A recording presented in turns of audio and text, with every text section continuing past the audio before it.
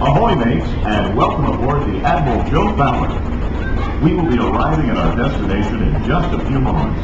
On our way, we'll travel one mile across the man-made Seven Seas Lagoon, which took almost three years to excavate. We do ask that while on board, the stairs remain clear while the boat would also like to remind you that smoking is not permitted at Walt Disney World theme parks and water parks, except in designated areas.